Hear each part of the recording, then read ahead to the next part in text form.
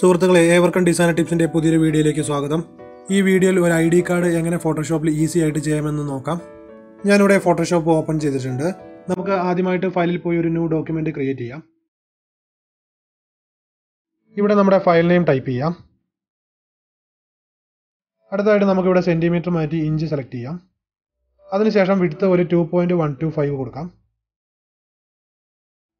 Height ഒരു three point three seven zero കൊടുക്കാം. അതുപോലെ തന്നെ റെസൊല്യൂഷൻ നമുക്ക് ത്രീ ഹൺഡ്രഡ് കൊടുക്കാം. ഇവിടെ ആർ ജി ബി തന്നെ കീപ്പ് ചെയ്യാം. അതിനുശേഷം ഓക്കെ പ്രസ് ചെയ്യാം. ഇപ്പോൾ ഒരു ന്യൂ ഡോക്യുമെന്റ് ക്രിയേറ്റ് ആയിട്ടുണ്ട്. ഇവിടെ ഞാനൊരു ഷേപ്പ് വരയ്ക്കുന്നുണ്ട്. അതിനായിട്ട് പെൻ ടൂൾ സെലക്ട് ചെയ്യാം. അതിനുശേഷം നമുക്കിവിടെ ഒരു ന്യൂ ലെയർ ക്രിയേറ്റ് ചെയ്യണം. നമുക്ക് ക്ലിക്ക് ചെയ്ത് ഷേപ്പ് ക്രിയേറ്റ് ചെയ്യാം.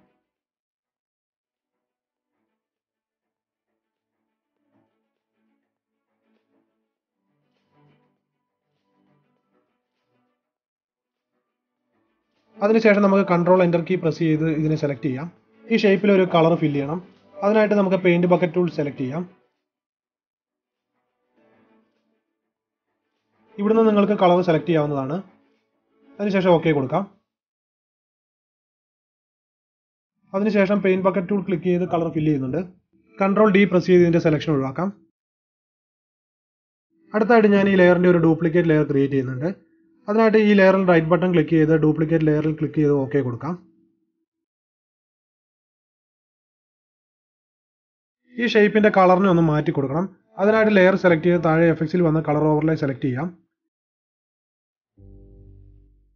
ഇവിടുന്ന് നിങ്ങൾക്ക് ഇഷ്ടമുള്ള കളർ സെലക്ട് ചെയ്യാവുന്നതാണ്.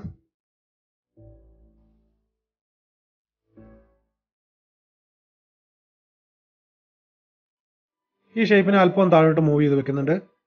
അതുപോലെ തന്നെ ഈ ലെയറിനെ ഒന്ന് താഴേക്ക് മൂവ് ചെയ്ത് വെക്കുന്നുണ്ട്. അതിനുശേഷം എഡിറ്റിൽ പോയി ഫ്രീ ട്രാൻസ്ഫോം ഇനേബിൾ ചെയ്യാം. ഇതിന്റെ കോർണറിൽ വന്ന് ഇതിനെ ഒന്ന് റൊട്ടേറ്റ് ചെയ്ത് അലൈൻ ചെയ്ത് വെക്കുന്നുണ്ട്.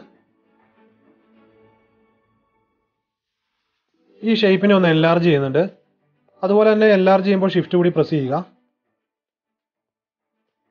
ഈ ഷേപ്പിനെ അലൈൻ ചെയ്ത് വെച്ചിട്ടുണ്ട്. എന്റർ കീ പ്രസ് ചെയ്ത് ഫ്രീ ട്രാൻസ്ഫോം സെലക്ഷൻ ഒഴിവാക്കാം. അടുത്തായിട്ട് ഞാനിവിടെ ഒരു ഗ്രേഡിയന്റ് ഫീൽ കൊടുക്കാനായിട്ട് ഒരു ഷേപ്പ് കൂടി വരയ്ക്കുന്നുണ്ട്. അതിനായിട്ട് ഷേപ്പ് ടൂൾ സെലക്ട് ചെയ്ത് ഡ്രാഗ് ചെയ്ത് വരയ്ക്കാം.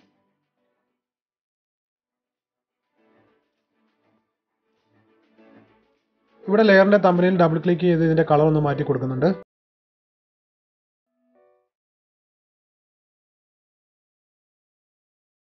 അടുത്തതായിട്ട് വീണ്ടും ഫ്രീ ട്രാൻസ്ഫോം ഓപ്ഷൻ എനേബിൾ ചെയ്യുന്നുണ്ട്. നിങ്ങൾക്ക് കൺട്രോൾ ടി പ്രസ് ചെയ്തും ഫ്രീ ട്രാൻസ്ഫോം ഓപ്ഷൻ എനേബിൾ ചെയ്യാവുന്നതാണ്. ഇവിടെ മൗസിന്റെ റൈറ്റ് ബട്ടൺ പ്രസ് ചെയ്ത് സ്ക്യൂ ഓപ്ഷൻ സെലക്ട് ചെയ്യാം.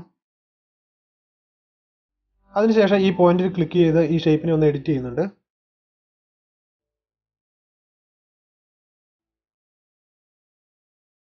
എന്റർ കീ പ്രസ് ചെയ്ത് സെലക്ഷൻ ഒഴിവാക്കാം.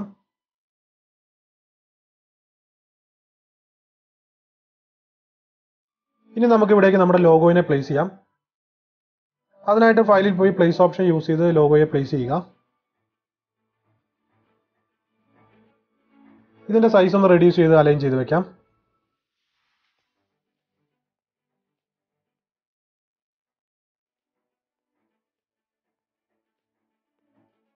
ഇവിടെ നമുക്ക് നമ്മുടെ കമ്പനിയുടെ നെയിം ടൈപ്പ് ചെയ്യാം. അതിനായിട്ട് ടെക്സ്റ്റ് ടൂൾ സെലക്ട് ചെയ്ത് ക്ലിക്ക് ചെയ്ത് ടൈപ്പ് ചെയ്യാം.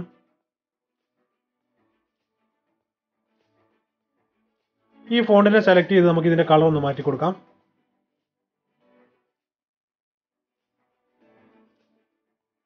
അതുപോലെ നമുക്ക് ഈ ഫോണ്ടിന്റെ സൈസ് ഒക്കെ ഒന്ന് അഡ്ജസ്റ്റ് ചെയ്ത് ഇതിനെ അലൈൻ ചെയ്ത് വെക്കാം.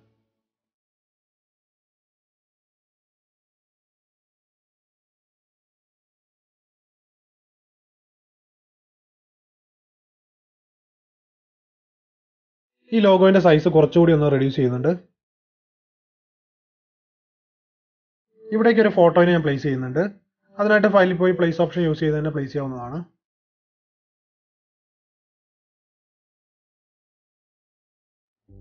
ഇതിന്റെ സൈസ് റെഡ്യൂസ് ചെയ്ത് അലൈൻ ചെയ്ത് വെക്കാം.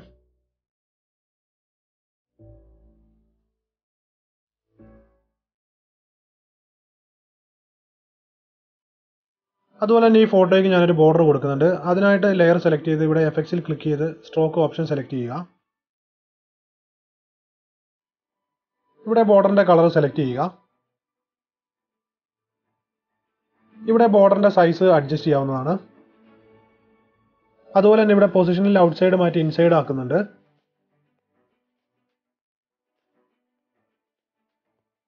അടുത്തായിട്ട് നമുക്കിവിടെ ബാക്കിയുള്ള ഡീറ്റെയിൽസ് ടൈപ്പ് ചെയ്യാം.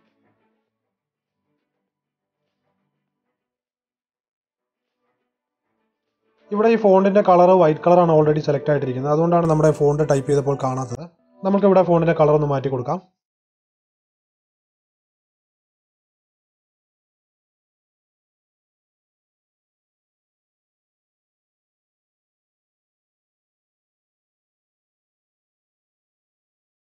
ഈ നെയിമിന്റെ സൈസ് ഒന്ന് അഡ്ജസ്റ്റ് ചെയ്ത് അലൈൻ ചെയ്ത് വെക്കാം.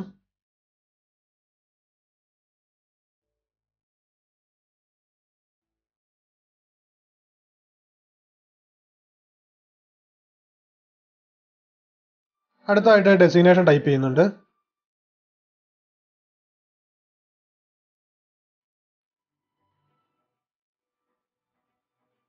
ഇതിനെ നമുക്ക് ഫോണ്ടിന്റെ സൈസ് ഒക്കെ ഒന്ന് അഡ്ജസ്റ്റ് ചെയ്ത് അലൈൻ ചെയ്ത് വെക്കാം.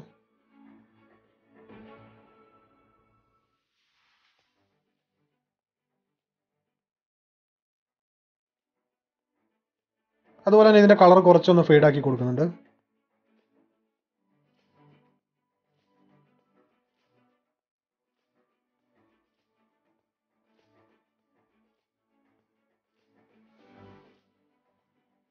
ബാക്കിയുള്ള ഡീറ്റെയിൽസും ടൈപ്പ് ചെയ്ത് നമുക്ക് സൈസൊക്കെ അഡ്ജസ്റ്റ് ചെയ്ത് അലൈൻ ചെയ്ത് വെക്കാം.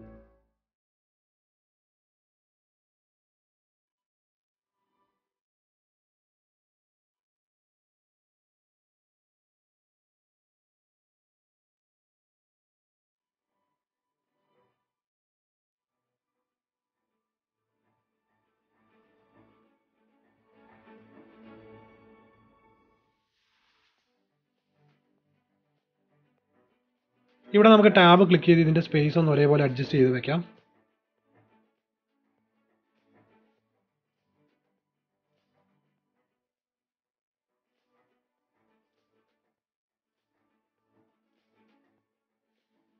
അടുത്തായിട്ട് ഇവിടെ ഒരു ഷേപ്പ് കൂടി വരയ്ക്കുന്നുണ്ട്.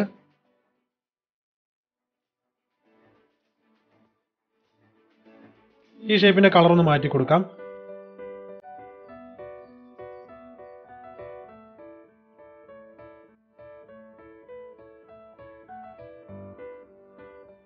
നമ്മുടെ വെബ്സൈറ്റ് ഡീറ്റെയിൽ കൂടി നമുക്ക് ടൈപ്പ് ചെയ്ത് അലൈൻ ചെയ്ത് വെക്കാം.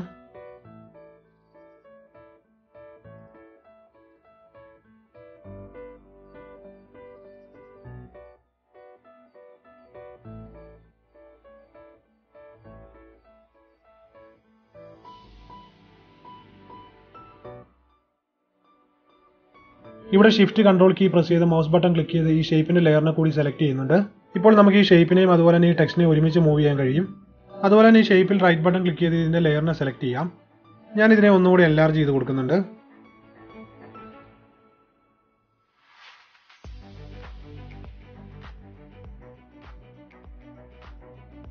ഇപ്പോൾ നമ്മുടെ വർക്ക് കംപ്ലീറ്റ് ആയിട്ടുണ്ട്. ഞാൻ ഇതിനൊന്ന് സേവ് ചെയ്യുന്നുണ്ട്.